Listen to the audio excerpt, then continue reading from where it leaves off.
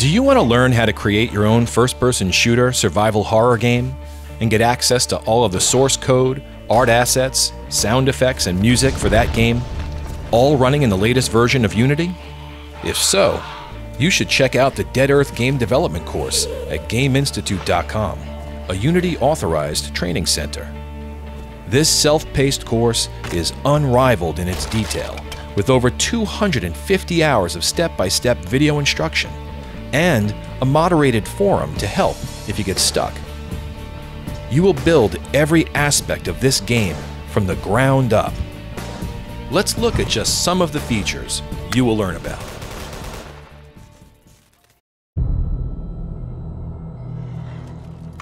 You will discover how to create a multi-weapon animated first-person arm system, just like the ones you've seen in your favorite games.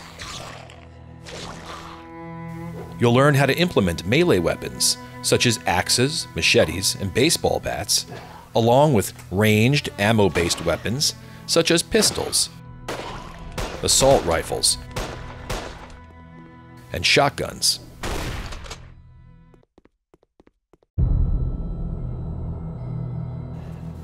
You will create intelligent, friendly, and enemy AI and have your NPCs respond to stimuli such as sight, sound, and smell.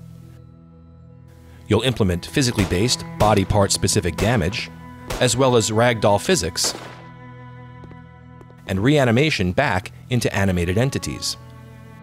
You'll learn how to assign patrol routes to your AI and have them achieve tasks such as opening doors and invoking ranged attacks. In the Dead Earth codebase, you can fully customize your AI on a per instance basis so that they can exhibit a variety of unique behaviors. Whether you want a character to be a walker or a sprinter, a crawler or a bouncer, or even hostile or friendly, that power will be at your fingertips. Of course, no game would be complete without a player inventory system that supports collecting ammo, medkits, and anything else your imagination conjures up. The Dead Earth game world contains dozens of items, all with different behaviors, using a framework that makes it easy for you to extend and create your own. We have cans of food to restore player stamina, health kits and anti-infection kits to patch up the player after an attack, journals that can be picked up and read to advance the storyline. We've even got special items that can be used at crafting stations to repair or even create new types of gear. Command Central here. Report back once you've... Consider the following in-game scenario. The player is unable to access a mission-critical room because the door is locked. So we search out some scrap metal by looting broken machines, and then find a sharpening stone in some nearby rubble. Finally, we head off to a crafting station to create a set of lockpicks that can be used to gain entry to that room via the lockpicking system. You will learn how to implement each of these experiences and more. Supporting all of this is a highly flexible looting system. After killing an enemy, you can examine and pick up any of the items it is carrying, including audio logs that, when played, issue new mission objectives. This is the final log entry of Dr. Julia Pearson. But looting isn't limited to just dead bodies. Almost any item in the world can easily be turned into a loot source. Next, while combat is an important aspect of the game, you will also build a visibility based stealth system so that the player can hide in shadows, evade detection, and plan their attacks. You can even shoot out the lights in a room to dynamically create shadow zones in real time. To navigate the darkness, you'll manage two critical items. First, the obligatory flashlight that flickers and fades as the battery diminishes. Although helpful, your light beam can be detected by enemies. So, for total stealth in low lighting conditions, you'll build a battery powered night vision system that allows players to sneak around and avoid enemy encounters.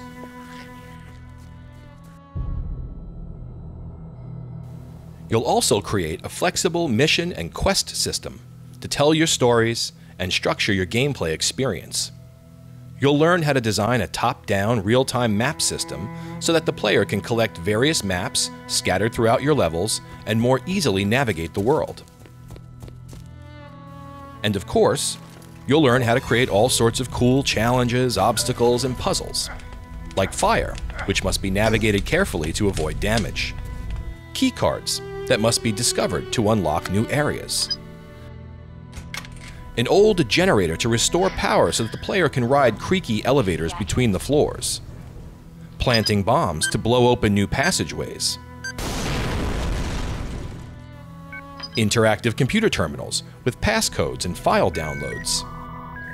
You'll even have dynamically destructible items like supply crates and wood planks that must be destroyed using specific items.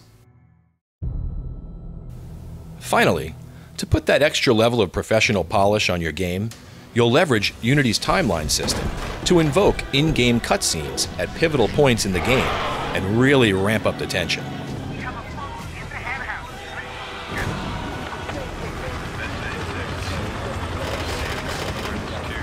And of course, you will learn how to implement those all important secondary scenes, such as main menus, configuration dialogues, and closing credit sequences.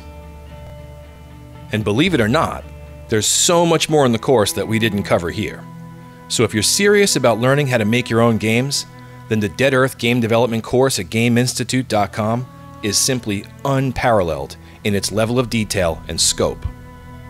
Join us now and find out how AAA games are really made.